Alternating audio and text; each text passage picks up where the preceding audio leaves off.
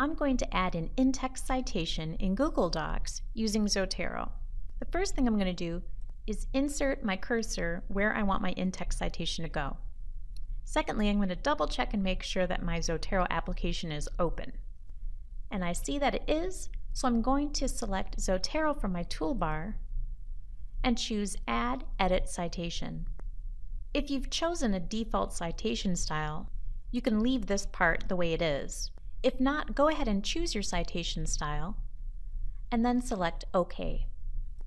A Zotero search field should appear, and you can type in the first few letters of the source you want to use.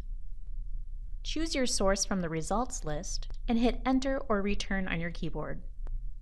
And that's all there is to it. The only thing I'm going to do is make sure that my period is after the citation and outside of the parentheses.